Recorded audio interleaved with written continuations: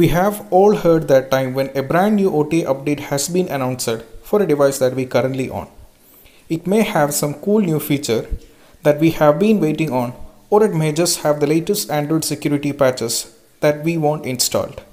Whatever the case, these updates are incremental and could take from a few days to almost weeks to be available for each and every device worldwide. If you would like to quickly update your device, then you have the option to manually install Oxygen OS on OnePlus devices. So welcome back to Get Droid Tips. In this video, we'll be showing how to install Oxygen OS on OnePlus device using local update. Haven't heard what is a local update?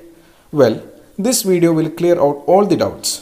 Before that, your device must be in OnePlus stock firmware and it is recommended to take a complete backup of your personal data before flashing your device and your phone should have at least 50% battery level to avoid any disruptions during the updating process.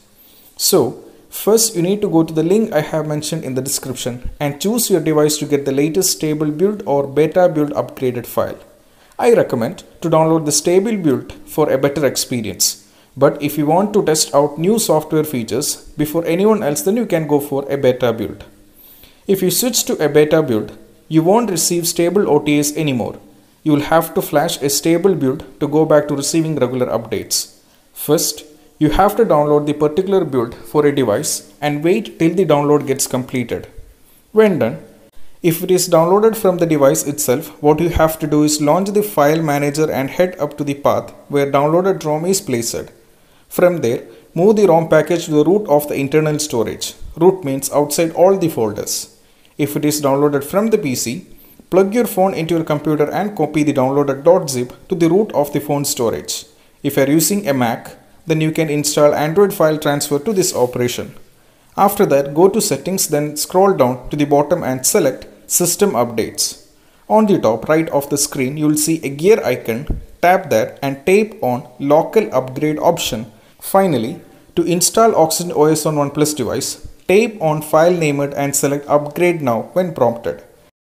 As soon as you do that, the installation process will begin. Finally, when everything is completed, reboot and your Android device should now be running the updated Oxygen OS. So that's it guys. I hope you all liked our video. Don't forget to subscribe and turn on post notification so that you won't miss any upcoming updates. We'll back with more exciting videos. Till then this is Shahin signing off from Get Tips.